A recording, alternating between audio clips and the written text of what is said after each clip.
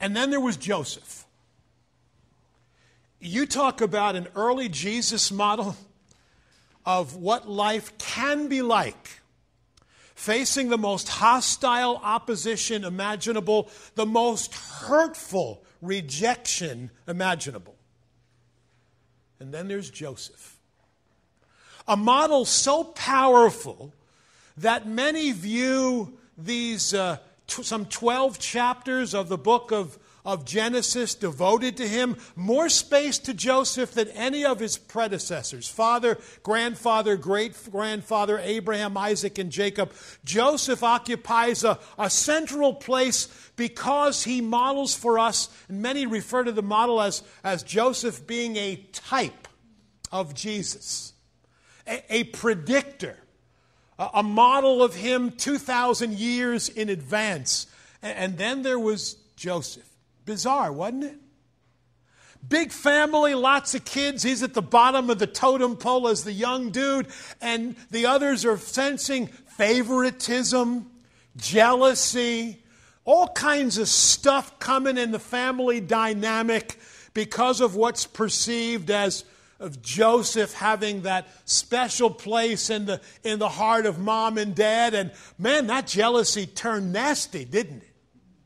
Talk about betrayal by those the closest to, the most devoted to, the most loving relationships with. You talk about the Romans 12 love word phileo from the same womb. Man, they were family and the ultimate family betrayal.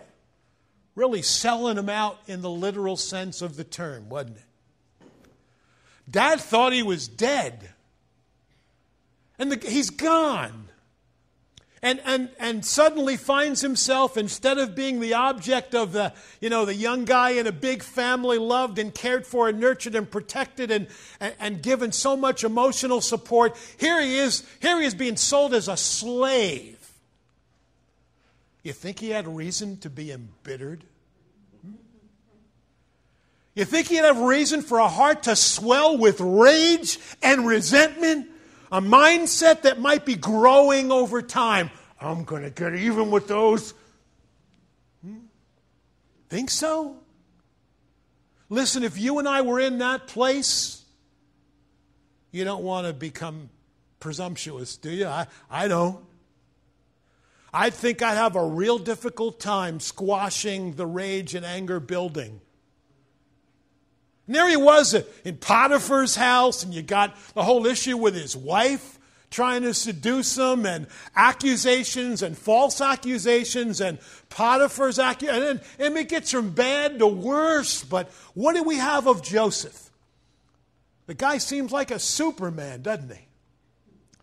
Just maintaining faithfulness in the midst of false accusations. And man, he ends up he ends up growing in, in honor and respect. And even when he ends up in, in jails and he ends up in Pharaoh, and God gives him the supernatural giftedness of interpreting dreams. I mean, from the bottom of the heap, where he could have been consumed by rage, anger, resentment, revenge driven, he ends up moving up the ladder as a foreigner in a strange land, ends up essentially becoming the equivalent of the powerful vice president of, of Egypt. And wow, like how can that happen? No bitterness at all, but it really could have got tested at the end, didn't it? We, we know the story.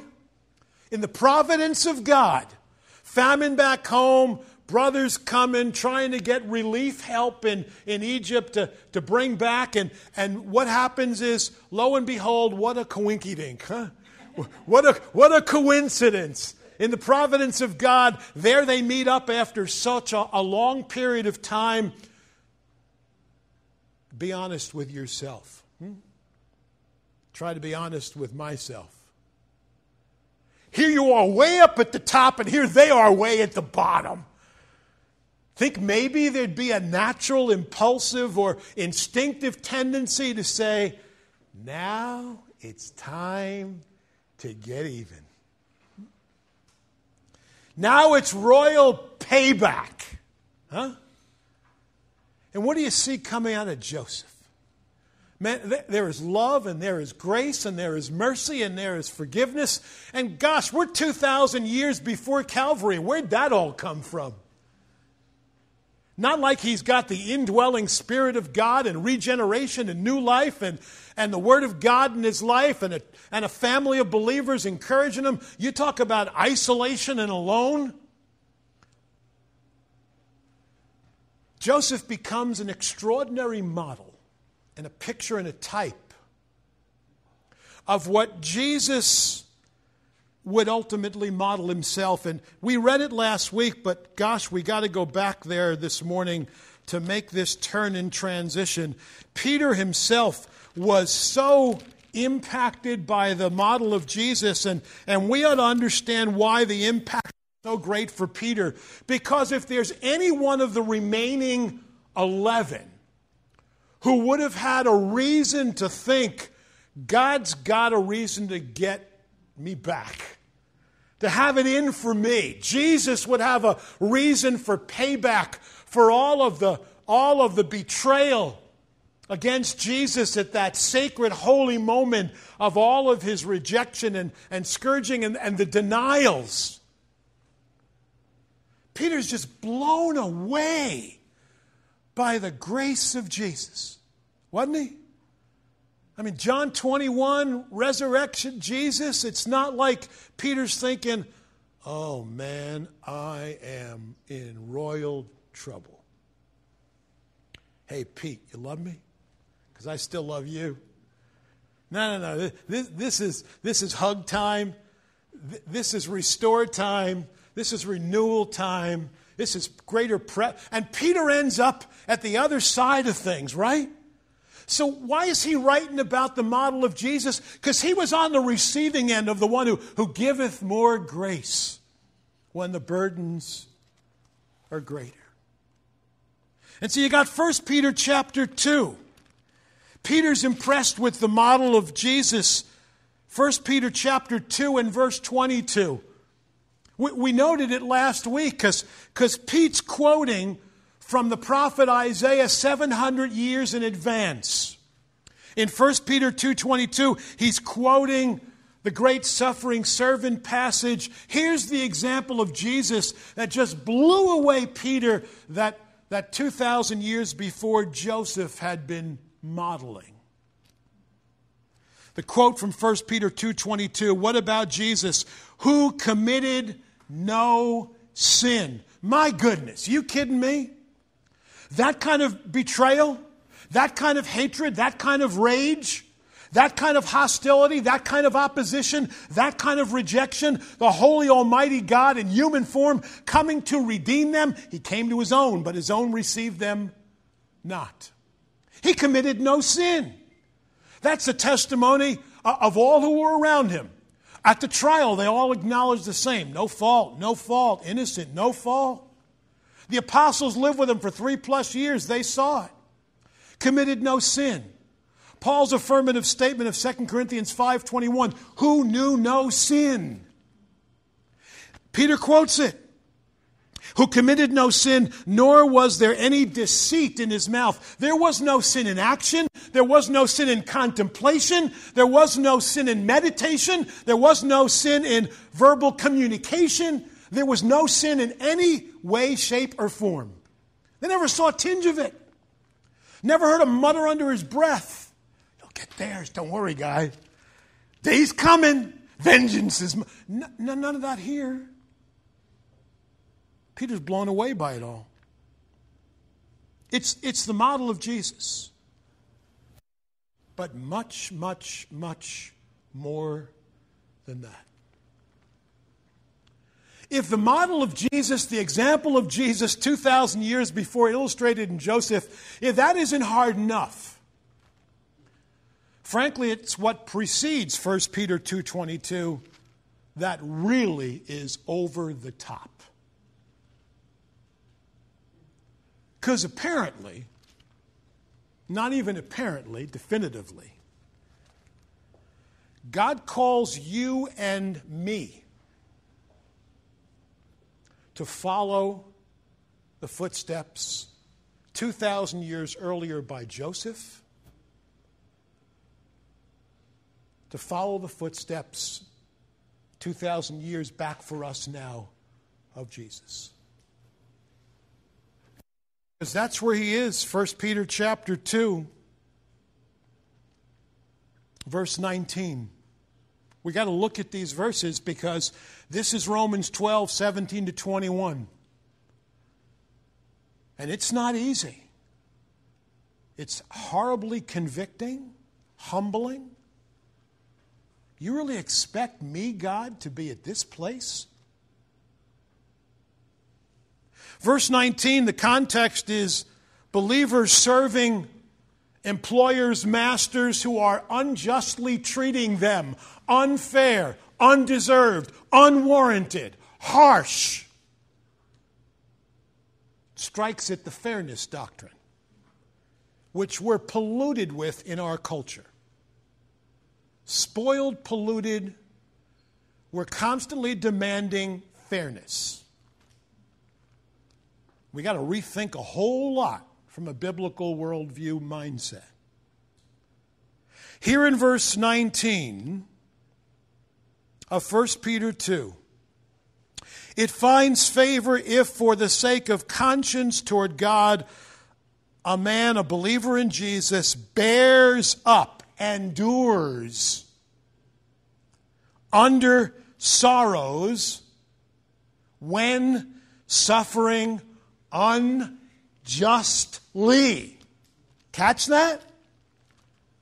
Unjustly. Not fair, not even legal. I didn't do anything. Hmm. There's almost a degree in verse 20. If you read it a certain way, it could almost sound sarcastic. It's not. It's intended to prove a point. What credit is there if when you sin and you're harshly treated, you endure it with patience? It's like if I screw up, if I make an idiot of myself, if I cause my own pain and hardship, and then I'm enduring the consequences of it, and I think, my, what a wonderful model I am. No, you're not. You caused your own pain, you idiot. What do you There's nothing great about that at all. You deserve, in a certain sense, what you're going through. But, contrast middle of verse 20. If when you do what is right, do what is righteous, do what is honorable, do what God approves of, if when you are obeying Him and you're following Him and you're honoring Him and you're lifting up Jesus by example, by model, by word, by deed, by heart, by attitude, and you, you think honestly, humbly before God, I really want to exalt Jesus and how I'm responding, but in spite of all of that, you still suffer. And you determine I'm going to follow the footsteps of Jesus and patiently hanging in there, endure it. Hupomeno, I'm, rem- I'm staying under the fire. God's put me here. Not fair through my lens. Jesus went through a millionfold more than me. I'm hanging in there. This, end of verse 20, finds favor, grace. He giveth more grace. That's who he gives it to. And then Peter throws in the wallop of verse 21. For you have been called for this purpose. Talk about life purpose. Talk about life design. You have been called for this purpose. Since Christ also suffered for you, parentheses, unjustly, unwarranted, undeserving, leaving you an example for you to follow in his steps.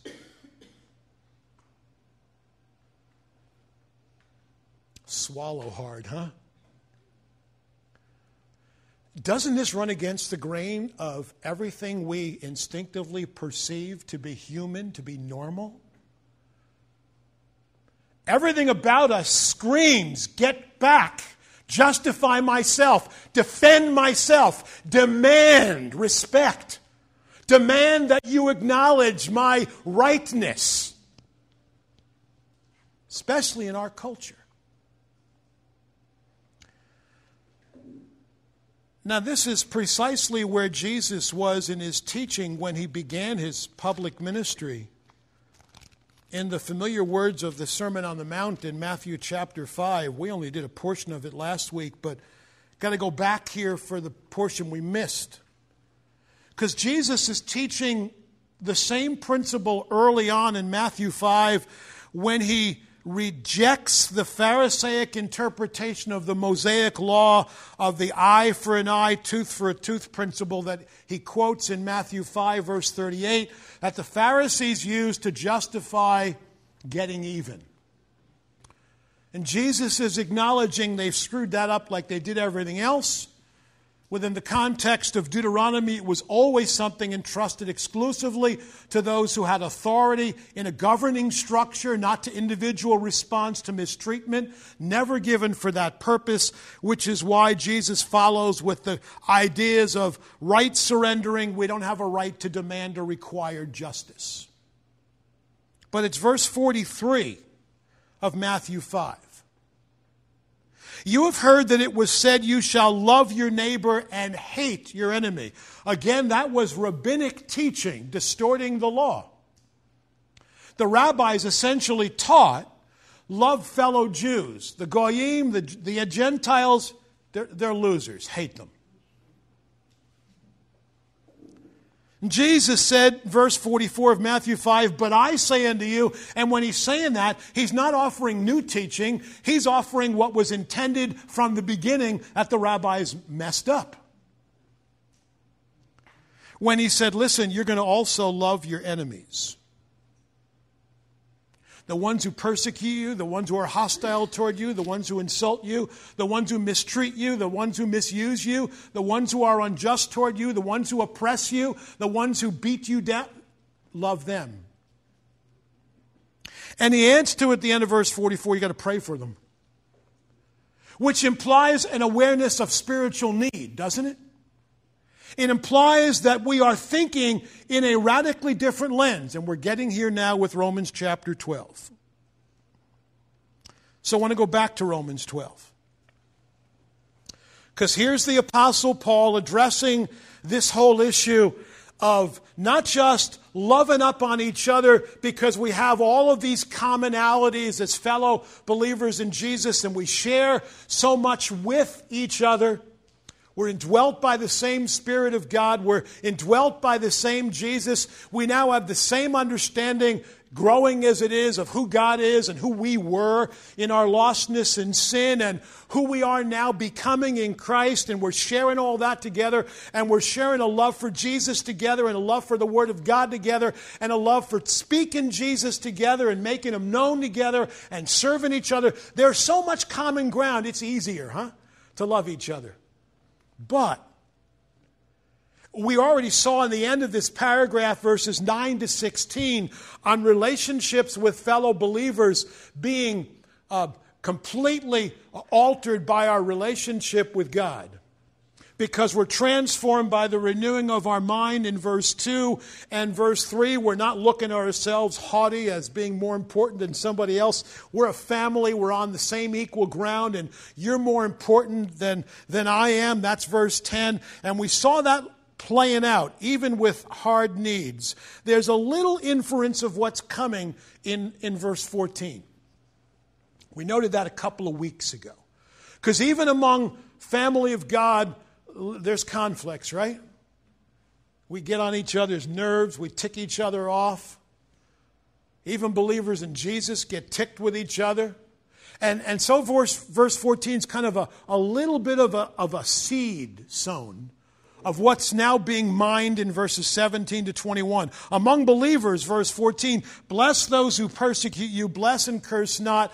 Let's, let's face it, if we're fellow believers in Jesus and there's conflict and resentment, we feel like somebody's mistreating us, hostile toward us, hurting us, we've got a whole foundation of principles by which that stuff must, not possibly can, but must be resolved.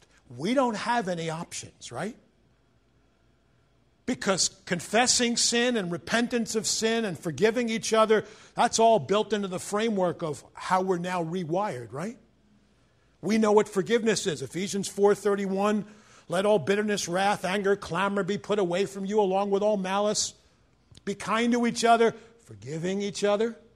Just as God in Christ has forgiven me, we all know what it means to be forgiven. We all know what it means to be washed of all of our, all of our garbage. We know what it means to be on the receiving end of grace and mercy and love. Well, how can we pause in giving it out? If we get it by grace, we give it by grace. If we get it when we don't deserve it, we give it when we think they don't deserve it. Maybe we don't deserve it. And so we've got all the premise to be able to deal with this stuff when it comes to believer to believer. But now, verses 17 to 21, we don't have common ground with unbelievers, right? We don't have a common mindset, common heart, transformation, regeneration. There's no commonality spiritually whatsoever. We're in literally different worlds. And we're facing it from them. 17 to 19 lays out these four principles that challenge us at this core level of our response from unbelievers who are persecuting us in the worst imaginable ways. We dealt with the first phrase of verse 17 last week the strong negative statements for emphasis. Never. It's repeated again in the beginning of verse 19. Never. Never pay back evil for evil to anyone. The issue of retaliation. Absolutely never. Dealt with all that last week. Want to move to the next phrase of verse 17. Principle number two. From the issue of retaliation, I call this the issue of recognition. Now, this is really hard because we completely lose our frame of reference. It's a stunning statement, the end of verse 17. Respect what is right in the sight of all men. Again, one of the terms helping us understand we're dealing now not just believer believer relationship, but believer unbeliever relationship. All men in, in verse 17. The end of verse 18, all men. Repeated. Respect what's right in the sight of all men. And the, the word respect means uh, I'm going to take thought of, I'm going to contemplate in advance. I got to process this and think this through. Listen, we got to come to grips with something. A lot of the issues that come from believer unbeliever relationship, especially hostile relationship, negative stuff we're getting from them. Persecution, accusation, anger. But just, just think for a second with me. What in the world do we expect? What, what are we expecting? What are just the core differences between someone who is, who is lost still in sin, who is still described by the first section of Romans, Romans 1:18 through chapter 3 verse 20, where are they at compared to us? Well, we ought to know where we are. We're Romans 3:21 and on. We've been redeemed by the blood of the lamb. We've been given a new heart, regeneration spiritual life implanted within me. Where'd that come from? Came from God. Did I win it? Did I earn it? Did I self produce it? Did I arrive at it? Did I intellectualize it? Did I discover it from my own brilliance? Was it a treasure hunt and suddenly there was the treasure? It's God drawing me to Himself. It's God removing the scales from my eyes to see and, and removing the deafness from my ears, and, and God giving me the ability to, to perceive what I could not discover and perceive on my own. What happens once we come to Jesus? I discover a new perspective of who God is. I discover a very different perspective of who I was and who I now am. I, I discover what spiritual life in me produces. And my entire worldview begins to radically change. Why? Because I read a philosophy book? No, because new life gives me new understanding of the eternal principles of the Word of God that are now dynamic and alive. The Word of God is quick and active, sharper than a two edged sword. The gospel is endunamai explosive, and so I'm discovering a whole new view of the universe, of the eternal Creator, of divine design in creating me, of spiritual life. Everything changes. Why do we expect unbelievers who are dead in their tra- transgressions and sins, Ephesians 2 1, why do we expect unbelievers to get it? I mean, how reasonable is it? How, how sensible and reasonable is it for us to expect that those who are in spiritual darkness, who are utterly lost, who are Ephesians 2 2 and 3 under the influences of the culture, this world system, under the influence of their own sinful nature and impulses, and under the influence of the prince of the power of the air, Satan himself, how do we expect them to grasp what I grasp? To think the way I think, to understand what I understand, and I'm going to just convince them of my brilliance and logic and everything will just be wonderful. It is impossible for them to get it. They can only see through one lens, a one lens with a, with a lot of different quarters in it, a lot of different ideas and concepts of worldview and of life that, that Jesus describes in Matthew 7 as wide as the road that leads to destruction. There's lots of roads, lots of directions, lots of paths, lots of belief system, lots of ideas, lots of concept, but the ends thereof, Proverbs 14:12, are the ways of death.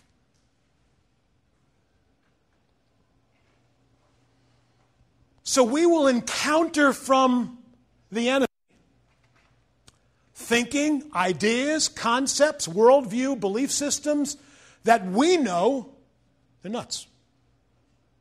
Clueless. No clue. So, what am I going to do? I'm going to enter into a world in which I am going to require you to get what I know. And I'm going to beat you down one way or another until you get it. By the way, historically, for the quasi Christian world, over several thousand years, there are many who call themselves Christians who have tried to do that to people.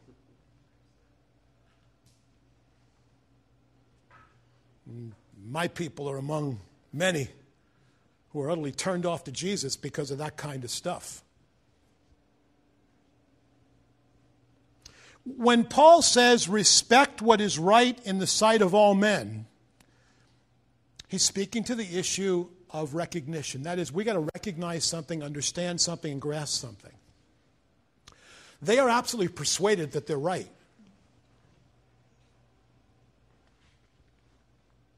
They're, they're, they're convinced they're right. And if all I'm going to do is enter into a, a, a war of words, expecting that somehow I, I am going to demand of them, require of them that they think differently, that is utterly ludicrous. Because if God doesn't breathe spiritual life into them, what are we doing? Now, I'm not saying we don't talk, but it's what we're saying, what we're talking, what we're discussing, what we're engaging in, and how we're presenting. That's a different issue, especially when they are hostile in belief system. We're in a culture. I mean, it's not 1950 anymore. It isn't Leave It to Beaver. It isn't the Partridge family. The, the world's changed. The hostility toward a Christian worldview, if we don't get it now, we need to, you know, come out of fantasy land. It's, it, is, it is increasing precipitously, exponentially. The anger and resentment of our culture toward anything that is biblically centric is exploding with rage against us. That is this age. To get to a place where you can have any kind of an interactive discussion where there is listening and give and take, it's increasingly difficult to be there. And the likelihood is going to get worse before it gets, if it ever gets better, not likely. I, that's my own thought. But if I'm going to get angry in return, if I'm going to get resentful in return, if I'm going to perceive uh, their spears and their attacks against me, and I'm going to take this personal, and I'm going to get, what in the world? Where are we going? They can't think any differently. It may be utterly foolish and wrong. It may be as foreign to truth as could possibly be, but it is, the end of verse 17, it is right to them, truth to them. And I'm going to have to understand where they're at and where they're not. I'm going to have to understand what they're getting and, and what they're not getting. And I'm going to have to be enduring enough and patient enough and trusting enough to be able to say, you know, I, I can't require this of them. I, got I got to hang in there over the long haul. I'm not going to react to their anger. I'm going to understand that's, that's all they have to offer.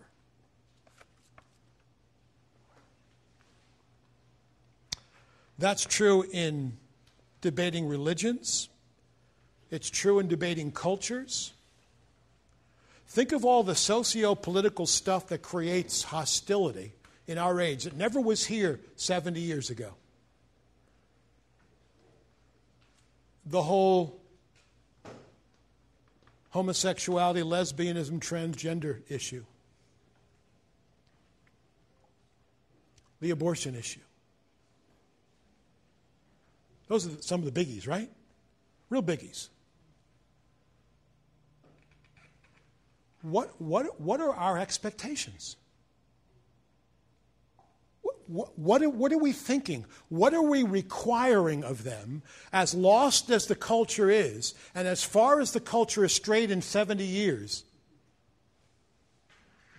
This is an atheistic, secular, materialistic, there is no God, there are no morality, fixed points, there are no absolutes, there are no standards, that lock in, they shift with a culture. What do we expect? They can't think differently.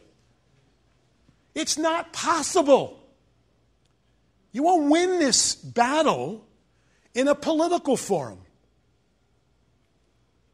One on one, truth driven discussion, respectful interaction, respecting what's right in the sight of all men. I know it's as lost as can be, as godless as it can be, but what did Jesus do?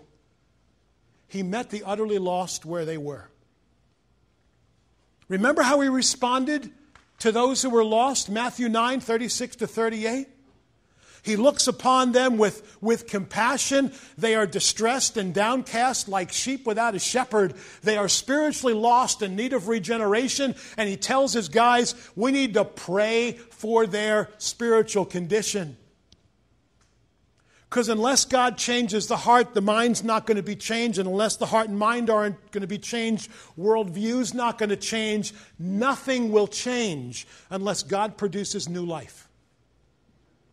And if we think we're going to win this battle on a philosophical level, level we are looking a, down an empty road.